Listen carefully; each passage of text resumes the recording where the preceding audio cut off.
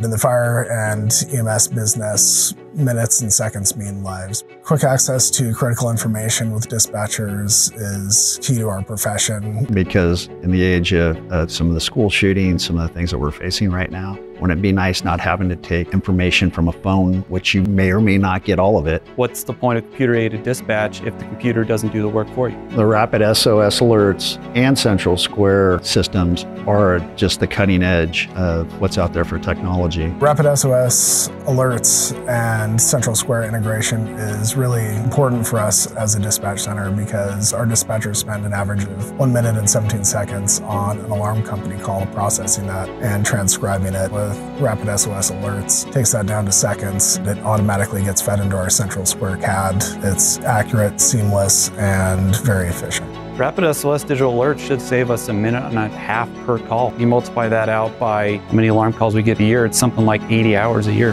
saved. The information that they're provided, which is enhancing our situational awareness, is huge because it has allowed us pinpointing accuracy. It gives them pertinent information in a more timely manner, which allows them to get it out to our field members who are responding to the calls. And what that allows them to do is have a better idea what they're going into, deliver the service quicker, more efficiently, and allows them to have better intervention with a better outcome of saving lives.